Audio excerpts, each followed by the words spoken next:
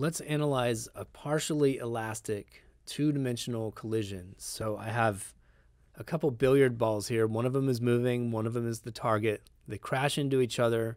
Depending on the point at which they strike each other, they're going to fly off at different angles. And what I know this time is actually both of the angles that they fly off at. And it might be surprising, but just knowing that actually determines their final speeds and it determines how much energy was lost in the collision.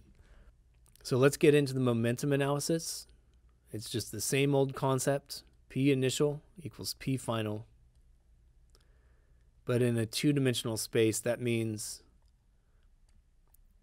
my initial x component of momentum is equal to the final x component, and it also means my initial y component is equal to the final y component. So I've got to analyze two different equations here, which looks good to me because we have exactly two unknowns. We're trying to find these final speeds. So let's do the x part first. P initial x equals P final x. P initial x equals P final x. And in my initial state, I have a mass of 0.5 and a velocity of 2 meters per second pointing to the right. I guess I'll keep units for a little while.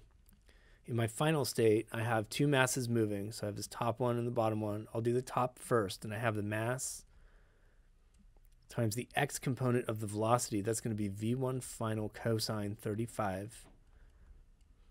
And then I have a 0.5 kilograms v2 final cosine 45 for the lower mass. So we can cancel out these 0.5 kilogram masses and I get my first important equation. I'm not going to write it with units because I'm getting ready to just do the algebra. And I get 2 equals v1 final cosine 35 plus v2 final cosine 45. Okay, then I look at the y direction. P initial in the y direction has got to be equal to P final in the y direction. So the initial y momentum is zero because everything was only moving horizontally. So that's equal to zero. So my final momentum must be zero. Now you could call this positive for this mass and negative for this mass and say they add up to zero, but it's easier if you just say that they have to have the same magnitude. We know they're pointing in opposite directions. So just using that kind of reasoning, I would write down for the top mass, the magnitude of its momentum is going to be 0.5 times v1 final sine of 35 degrees. And that's got to be equal to the magnitude of the downward momentum from the other mass. So 0.5 times v2 final times the sine of 45 degrees. I can cancel my 0.5s and I get a second important equation.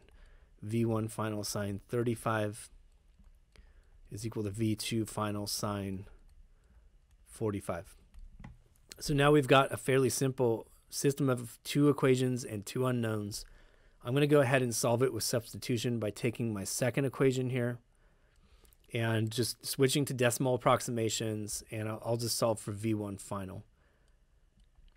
So V1 final has to be V2 final times sine 45 over sine 35 I get the V1 final is approximately 1.233 times V2 final. Then I'm going to take that value of V1 final and sub it into my first equation. So I end up with 2 equals 1.233 V2 final cosine 35 plus V2 final cosine 45 I'm going to factor the V2 final out of the right-hand side and smash together all the leftover numbers. And I end up with 2 equals V2 final times 1.717. Finally, I solve for V2 final. And I get 1.16 meters per second. So there's my first speed.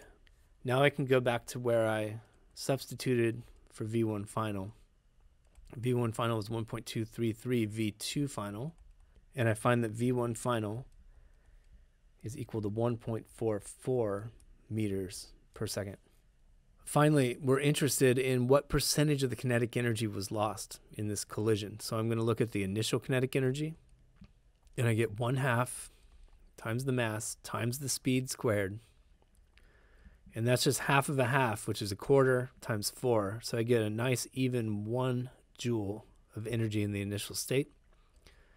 In the final state, two things are moving. I have 1 half times 0.5 times 1.16 squared plus 1 half times 0.5 times 1.44 squared.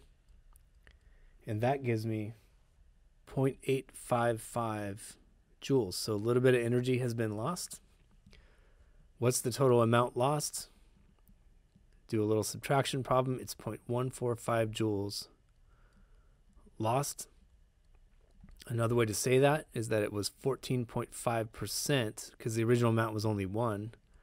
14.5% of the original amount of energy was lost.